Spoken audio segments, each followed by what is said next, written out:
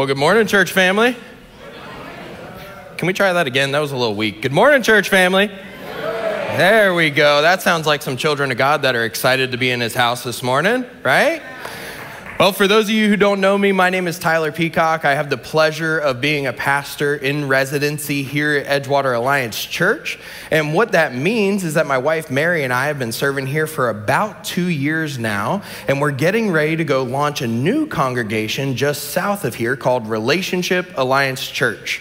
Now, that, that's probably, thank you. Amen. Amen. Now, that's probably not new news to most of you in the room, but I do come bearing news this morning. I wanted to give you a brief update before we jump into our word. Uh, so, last time I was here, we were celebrating a beautiful worship and prayer night where we had locked down a space and we had started renovations and we called a bunch of people together uh, to pray over that space and just dedicate it to the Lord, and it was amazing. Since that time, uh, through the help of a few faithful hands here in this room, that space has been completed. So the space is done. This was just after we finished painting the floors, but right before we got all the furniture in, we were able to build the coffee bar where, Lord willing, Monday through Friday, we'll minister to people in a missional way and serve them coffee and just invite people in and create a safe space for the community to receive Jesus. And we also were able to change all the lighting so that on Sundays and Wednesdays, that space can be converted to a space that's fruitful for worship and prepared to receive what the Lord has for us as that congregation congregation develops. Now, just like we called together the people of God to worship over the space and anoint it and pray over it, I felt led that we should call together the people of God to celebrate the completion. And by God's grace, we had 152 people show up to celebrate the completion of that space. Amen. Amen. And you know, the, the most the biggest blessing to me is there were some of you that are in this room, also in that room, but there were people in that room who hadn't been in a traditional church in over a decade. Some 15 years, 20 years, people who aren't willing to step foot into a space like this, no matter what we do, are coming to a place like this to receive prayer. We've already received a testimony of a young lady who was struggling with depression and anxiety who stepped foot in this room, and somebody here in this very room laid hands on her and prayed over her, and by God's grace, she has been set free of those things and now has come to join the core team of this new church plant. And so we're already seeing God answer and be faithful to the promises he had when he called us to plant this new expression down the way. Now, the secondary mission of this expression is, is, and something that's on my heart and that's on Pastor Connor's heart, and you heard a little bit about it with that ministry that we just shared with you, is to see the church collaborate beyond the walls of our various denominations and things that have separated us for so many years. So, part of that was this was a Wednesday night. We're praying over the people in the community. People are coming and being set free. And next thing you know, Thursday morning, we had 32 pastors sitting in that same very space, coming together in prayer and in love, asking the question how we can unite. And this isn't just pastors, these are business leaders, these are ministry leaders, people from all over this region, this New Smyrna, Edgewater, Oak Hill. Actually, I should say from Port Orange to Titusville, really, because we had a couple people that were just coming to see how God is moving in this region. And that is absolutely beautiful. That is why we have partnered together for the last two years to start this new expression. And that is what I want you guys to continue to pray towards. We've started our core team meetings every Wednesday night at six o'clock. We're gathering together for worship, communion, prayer, talk about what it means, what it's going to look like, how we're going to tangibly impact this community in the name of Jesus. So if you're in the room and you maybe feel the Holy Spirit moving upon you, please feel free to come and join us and learn a little bit more on Wednesday night about what this whole thing's all about. With that being said, I want to pray for our time together and then we're going to jump into our word. Father, I thank you for all the ways you're moving in this region. Lord, I thank you for all the ways you're moving in this room right now. Father, I pray for everybody under the sound of my voice, every child of yours, whether they know they are or not yet. Lord, I thank you for the ways that we are set free by your work on the cross, not by a single thing we've ever done.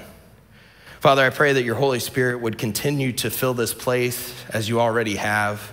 Lord, would you anoint my words as they go forward? Let them be received as yours and not mine because my words are useless. And Lord, yours are the way, the truth, and the life.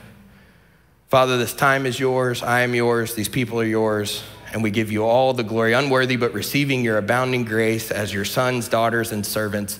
The church said, Amen. Amen.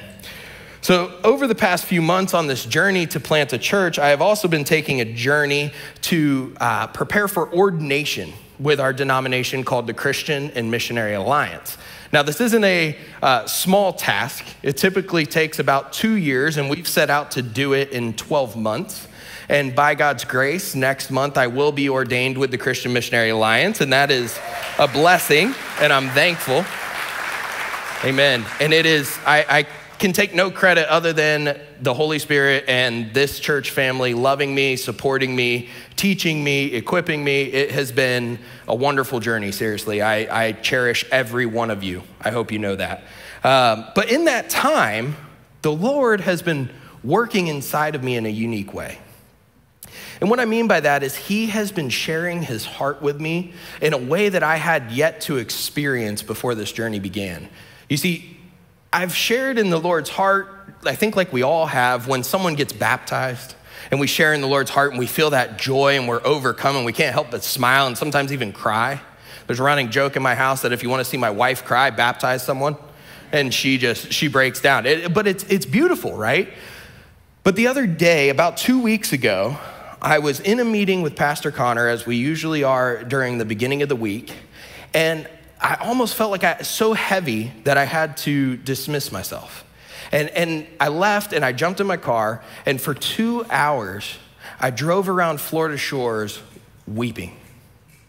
I just drove around crying because as I was driving, it was as though the Lord was letting me bear his burden for this city and this region for just a, a mere moment. And I'm thankful that it was just for a mere moment because I could not bear that for good.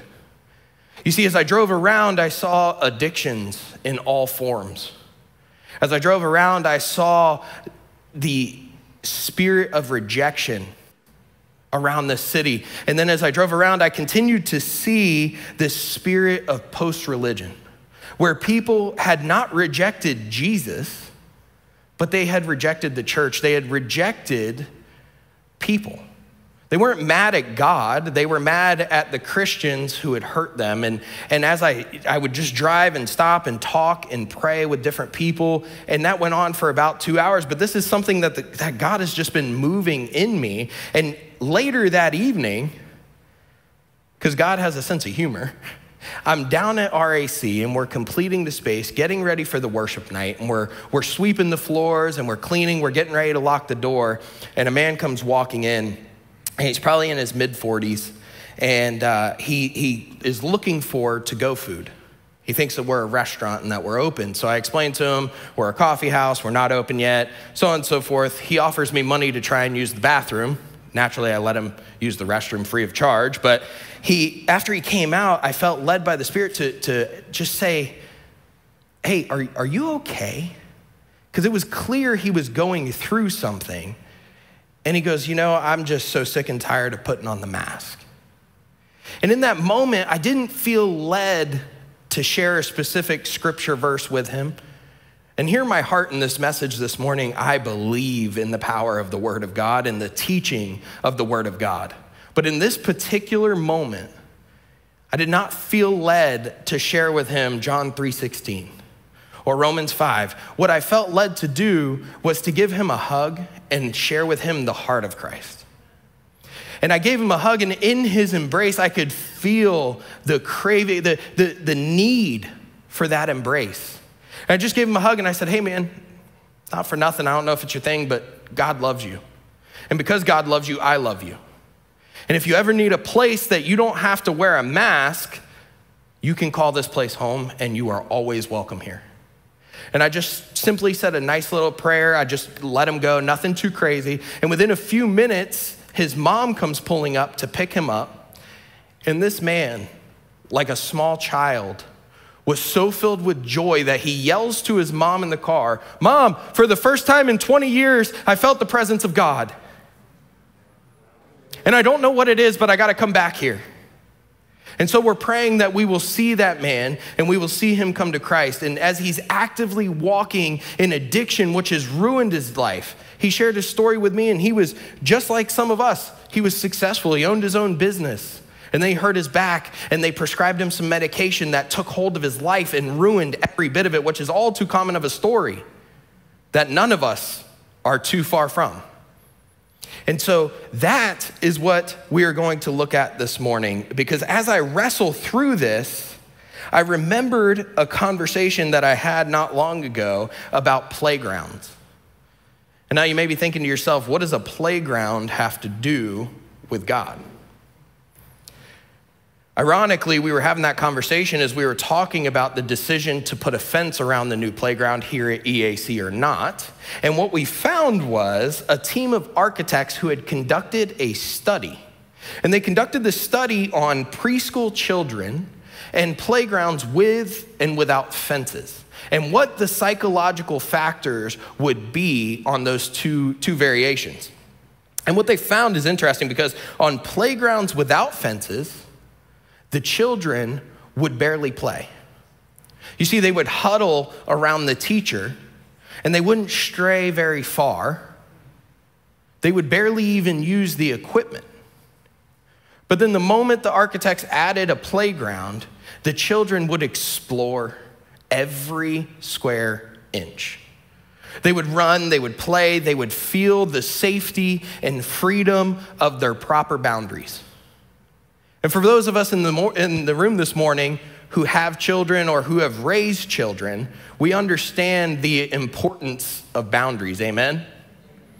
You see, because children with too few of boundaries, they often become reckless. They often become careless and they're, they're a danger. Or they go the other way and they don't understand the world and they become anxious and fearful. But then if we if we keep them in the small circle and we never let them get exposed to things that scare them and we give them too many boundaries, well then they either become fearful of anything that doesn't look like, smell like or talk like them or they become rebellious and they reject our rules and our principles the moment they're able to. But if we find the proper balance between those two, and by no stretch of the imagination of it as a father am I claiming to have done that, I am still actively pursuing that. So if anybody's got any tips, please send them to my email. But if we find the proper balance of boundaries, what we see, much like what we saw in this study, is freedom. We see curiosity, we see exploration, and we see wonder. We see kids being kids. And today, we're gonna focus on that last one. We're gonna explore what it means to get back to our freedom, our curiosity, and our wonder in our walk with Jesus. Because there's a biblical theme that runs from the beginning to the end of Scripture of being childlike. And that's what we're gonna explore today. And it starts in Psalm 116, verse 6. It says, The Lord protects those of childlike faith. I was facing death, and he saved me. But it's not simply an Old Testament thing. It goes all the way into the epistles under 1 Peter 2 2, which says, Like newborn babies, you must crave pure spiritual milk so that you will grow into a full experience of salvation. Cry out for this nourishment. But if you have your Bibles with you today, we're going to kind of land and, and preach out of a scripture, an interaction between the disciples and Jesus in Matthew 18. So if you have your Bibles, Matthew 18, starting in verse 1. I'm reading out of the NLT, which reads like this About that time, the disciples came to Jesus and asked, Who is the greatest in the kingdom of heaven? Jesus called a little child to him, and he put the child among them, and then he said, I tell you the truth, unless you turn from your sins and become like little children, you will never get into the kingdom of God. So, anyone who becomes as humble as this little child is the greatest in the kingdom of heaven. And anyone who, who welcomes a little child like this on my behalf is welcoming me. But if you cause one of these little ones who trust in me to fall into sin, it would be better for you to have a large millstone tied around your neck and be drowned in the depths of the sea. Pretty bold statements by our Savior. And as you read that, it becomes clear that this concept of childlike is something that Jesus is passionate about. Mark's account of this same interaction illustrates that even more so when he says, When Jesus saw what was happening, he was angry with his disciples. He said to them, Let the children come to me, don't stop them. For the kingdom of God belongs to those who are like these children. I tell you the truth anyone who doesn't receive the kingdom of God like a child will never enter it. So, what is Jesus talking about when he says the kingdom of God? And what is he talking about when he says to be childlike? Those are the two things we're going to explore together this morning. But the Moody Bible commentary says this about the kingdom of God in this passage it says, The kingdom of God refers to God's rule over one's life. Unless one receives God's rule with a childlike faith and dependence upon God, he will never enter his kingdom. Now, it sounds simple to be childlike. It's one of those things in our faith that's very easy to say, but if we're being quite candid with one another, I, I personally believe it is one of the hardest things to walk out.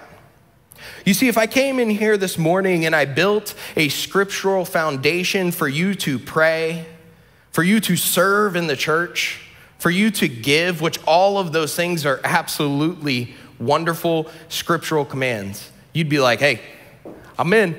Let's do it. That's tangible. I can feel it. I can do it. I can see it. But when we come to the altar and we say, Lord, I'm humbling myself before you, exposing all my dirty laundry and I'm gonna be strictly dependent upon you, not on my wisdom, not on my ways, not on my money, not on my family, not on my spouse, but strictly dependent upon you, Lord. Well, all of a sudden, we start to fall back on our heels a little bit and say, hey, I thought you said pray, serve, give.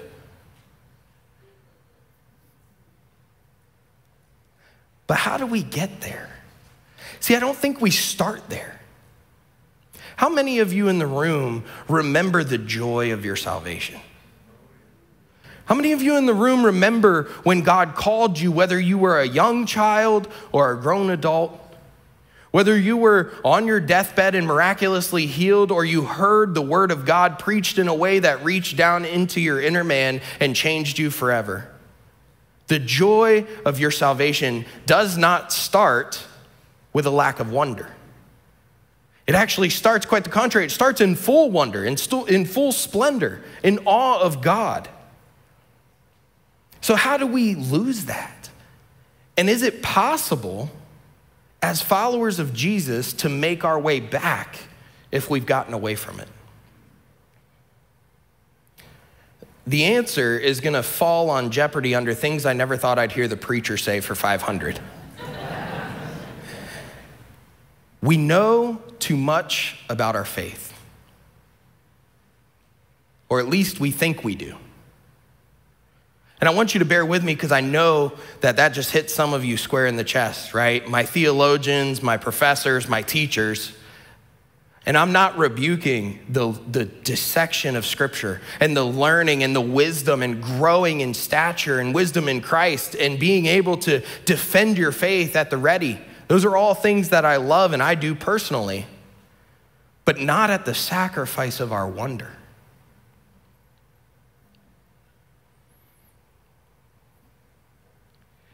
You see, one thing I've learned with my children is that as they age, they go through phases, right?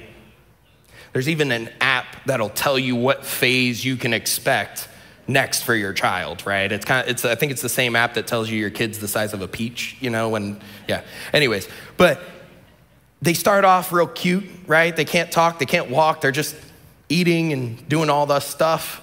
And then they start walking, and all of a sudden, the water line in the house comes up four feet, and there's nothing valuable below four feet in the house.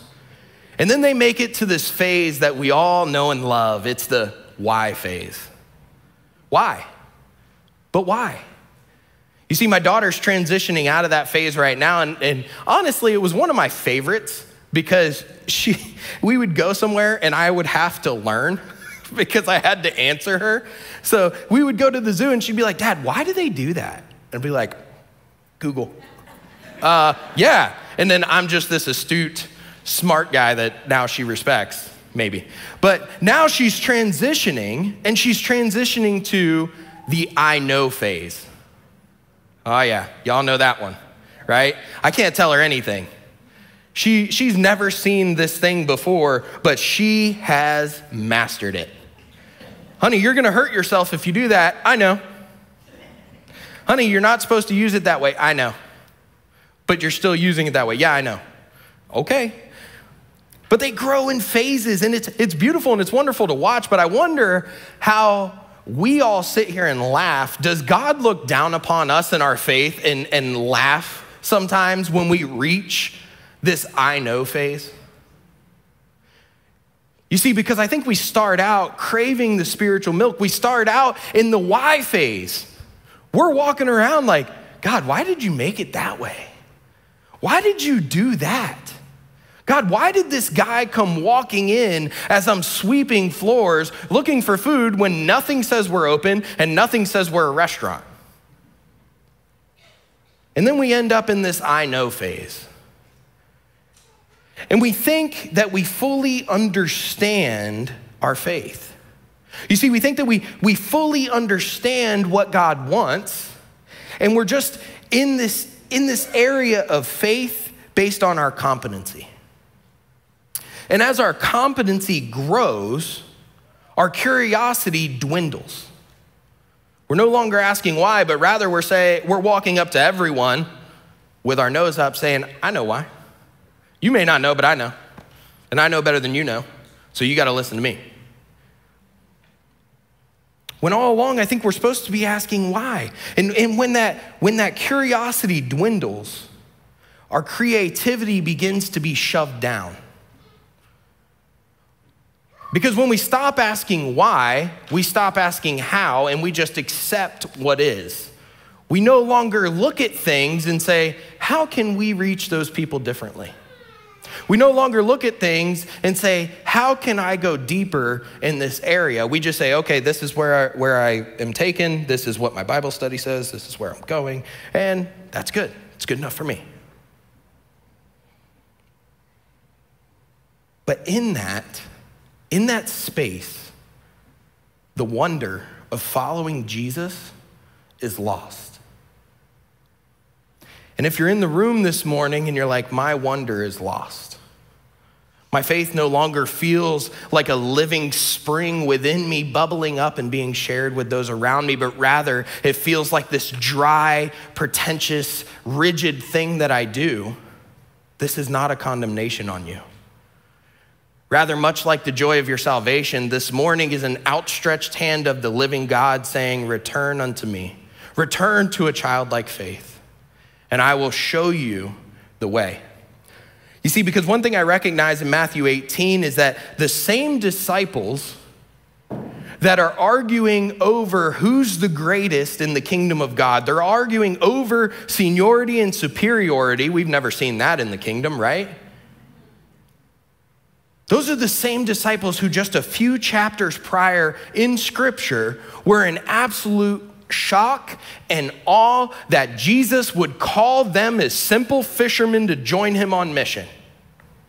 And then a few chapters later, they're sitting here having some kind of debate about whose theology is better, rather than worrying about the very thing that God called them to. But why is that? You see, I firmly believe that whether you are six or 60, or you have been following Jesus for a month or 70 years, your faith should be filled with awe-struck wonder. Every single day, you should wake up and want to go explore God's creation. You should wake up and view it more like a playground than a school. Tomorrow morning, those of you with kids, I want you to try and wake your kids up and say, hey, buddy, instead of uh, going to school today on Monday, I'm going to take you to the playground. We're going to play hooky, and I'm going to take you to the playground. And then the next day, I want you to wake them up and say, hey, you ready? Get up for school. Tell me which one wakes up with more awestruck wonder. That's the difference between viewing our faith and a life with Jesus as a playground with proper boundaries and as some astute school where this is all we do and this is how we do it because the church says so. And I pastor a church, so I promise you, I love the church. You see, I used to be like this. I used to read scripture in this way. And one thing that stuck out to me profoundly was one time I was reading 1 John 5 4, and it reads like this It says, For every child of God, there's that child thing again. Child of God defeats this evil world, and we achieve this victory through our faith. Beautiful words, encouraging words. But in my mind, I would read that, and if I was still actively struggling, if I was walking through something that, didn't that I didn't comprehend, the blame went inward. I would read this and go, okay, I, I, I'm struggling because I don't have enough faith. I've yet to be healed or delivered because I don't have enough faith. Or I'm still struggling with anxiety because I just don't understand the Word of God well enough yet. But then you go one verse later in 1 John 5 5, and it says, And who can win this battle against the world? Well, surely the theologians. Surely Scripture is getting ready to tell us those with the largest quantity of faith can win this battle. No. 1 John 5 5 says, Only those who believe that Jesus is the Son of God. There's absolutely zero mention of wisdom, there's zero mention of quantity. And what I realized in this moment is that it is not the amount of faith we have, but it is the type of faith we have. Do you have a astute faith built on your understanding or do you have a childlike faith built on a dependence of the living God?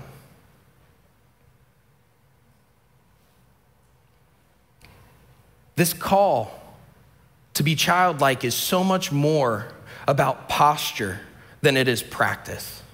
This is not a rebuke this morning to say, don't go and practice your faith. This is not to say, stop praying and serving and giving. This is not to make our faith some sort of mystical thing, but it's rather to recognize that it's both and. We cannot sacrifice the wonder of our faith as our competency increases.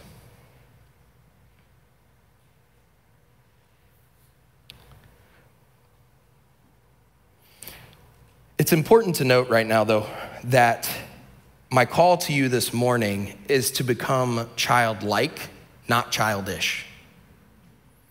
And as funny as that might sound, there is practice of what I'm preaching this morning that is remarkably childish. And I think we all know the, the things and places that I'm talking about.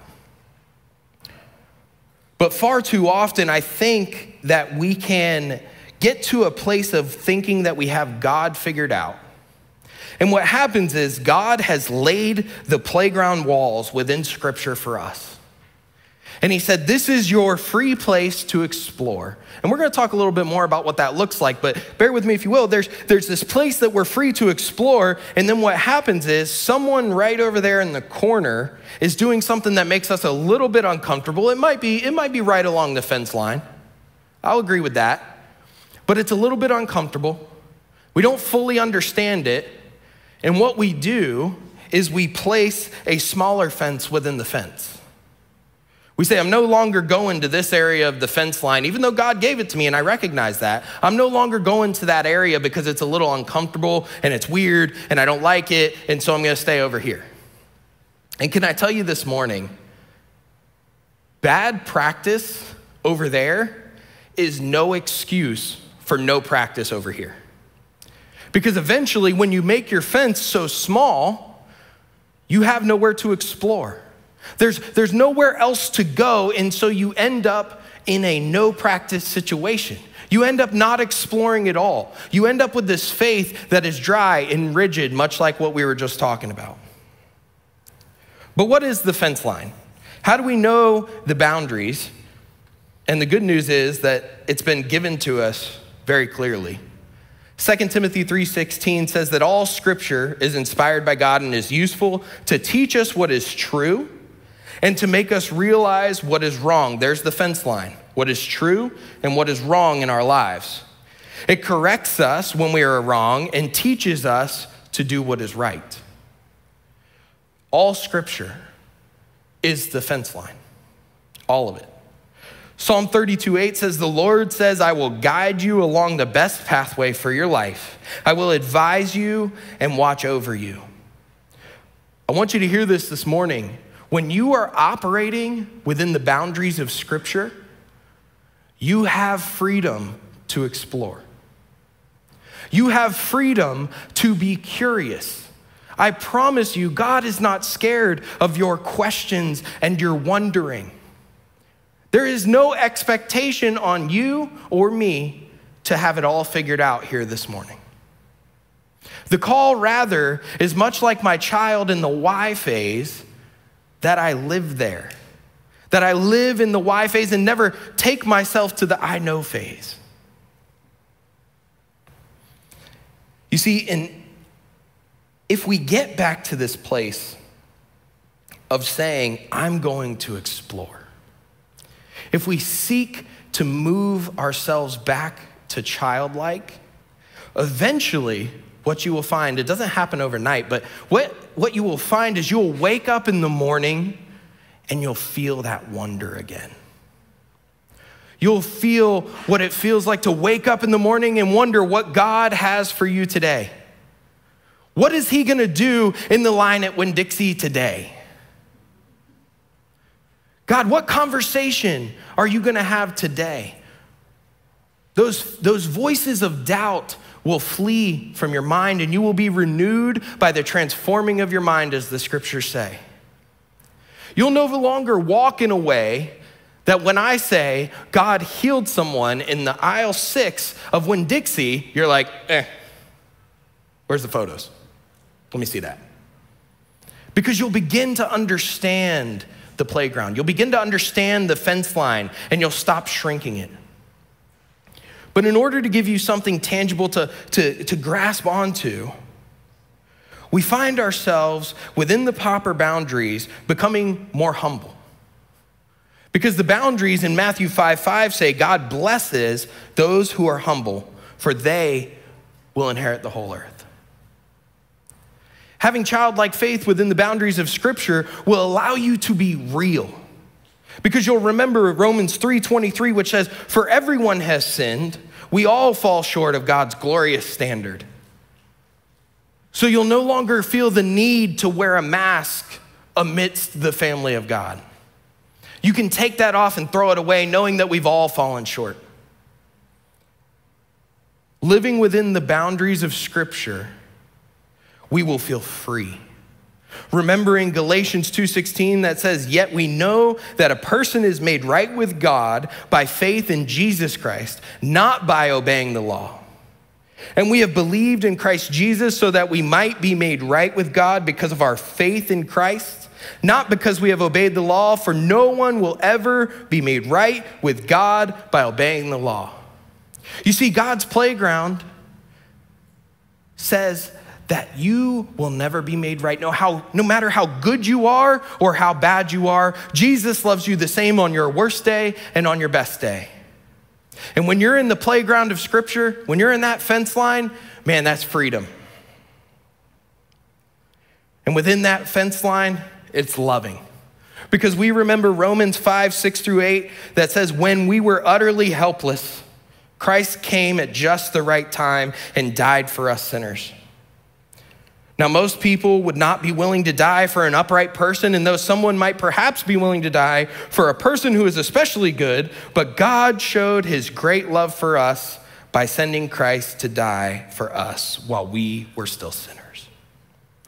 And that same Christ who died for us has called us to love as I first loved you.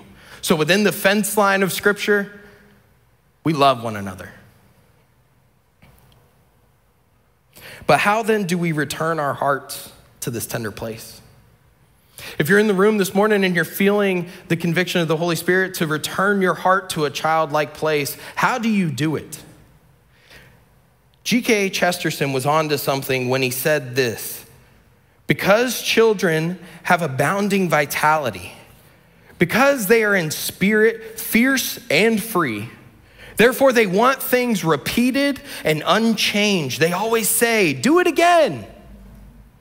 And the grown up person does it again until he is nearly dead. For grown up people are not strong enough to exult in monotony, but perhaps God is strong enough to exalt in monotony.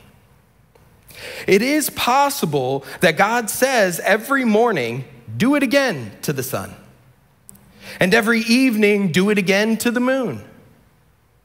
It may not be automatic necessity that makes all daisies alike. It may be that God makes every daisy separately, but has never got tired of making them. It may be that he has the eternal appetite of infancy. For we have sinned and grown old, and our Father is younger than we are. What a profound thought. You see, next time, if you want to see that quote in reality, next time you're walking with a child anywhere at all,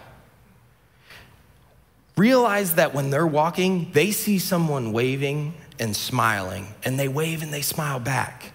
But you see the homeless man who's getting ready to ask you for another dollar.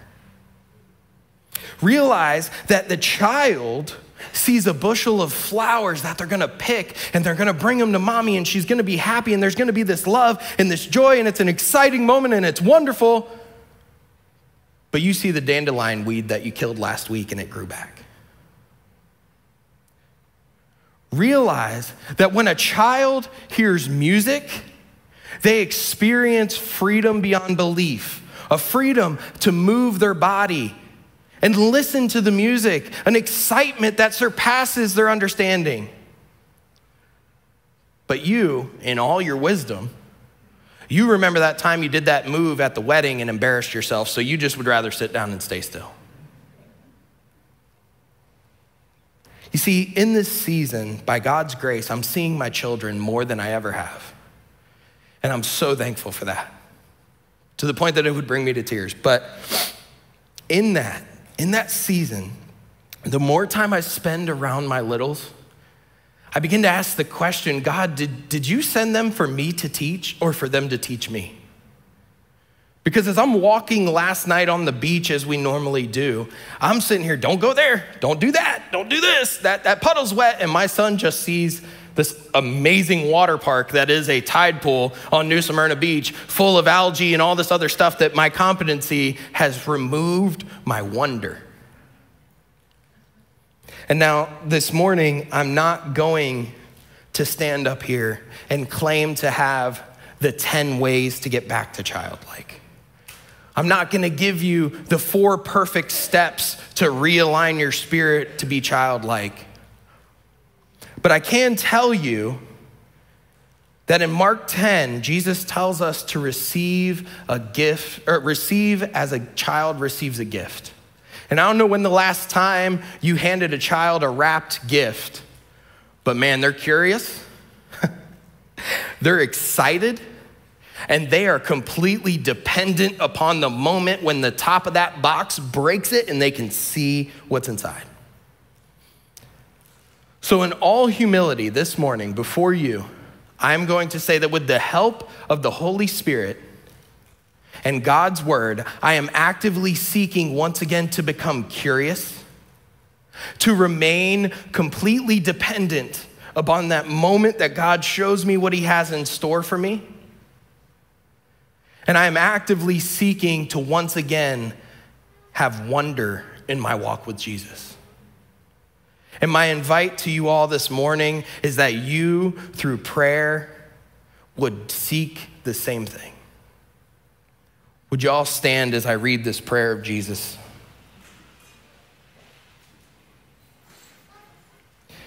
In Matthew 11 25, Jesus prayed this prayer. He said, O Father, Lord of heaven and earth, thank you for hiding these things from those who think themselves wise and clever, and for revealing them to the childlike. So, Father, my prayer for myself and everyone under the sound of my voice this morning is that we would not find ourselves wise and clever. That we would no longer have the things of your kingdom hidden from us, Lord. That we would find ourselves as humble as children. Lord, and in that, I know your faithful spirit will renew in us a wonder and a curiosity. So, Father, I come against for my brothers and sisters just the spirit of rigidity, the spirit of religious practice. Lord, I stand against that for them, and I just, I just pray, Lord, for myself and my brothers and sisters, that you would move in a profound way within our hearts to break down those walls. Father, we are yours, wholly, completely. Restore in us the joy of our salvation, and let us walk that out every single day within the confines, the fence line of your word, Father. Let us explore your playground with glory, wonder, and awe. It's in Jesus' name, unworthy but receiving your abounding grace, that your children said, Amen. Amen. I love you, church family. Go in peace.